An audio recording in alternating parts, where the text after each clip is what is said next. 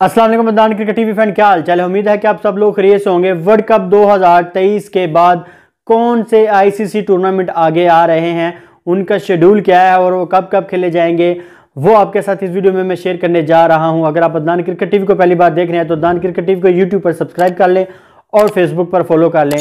World cup 2023 के बाद आने वाला जो वर्ल्ड कप है वो वर्ल्ड कप जनवरी 2024 में खेला जाएगा और ये world cup under 19 world cup होगा और ये 50 ओवर का वर्ल्ड कप है।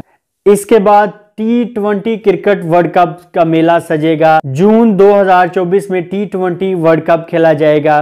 फरवरी 2025 में आईसीसी चैंपियन ट्रॉफी 2025 खेली जाएगी पाकिस्तान में। जून 2025 में वर्ल्ड टेस्ट चैंपियनशिप का फाइनल खेला जाएगा। फरवरी 2026 में टी ट्वेंटी वर्ल्ड कप खेला जाएगा। अक्टूबर 2027 में वनडे इंटरनेशनल का वर्ल्ड कप खेला जाएगा। अगर आपको दान क्रिकेट टीवी की अपडेट अच्छी लगी तो दान क्रिकेट टीवी को यूट्यूब पर सब्सक्राइब कर लें और फेसबुक पर फॉलो कर लें। मिलते हैं आपके साथ आने वाली वीडियो में। तब तक के लिए अल्लाह हाफिज़, पाकिस्तान, जिंदाबाद।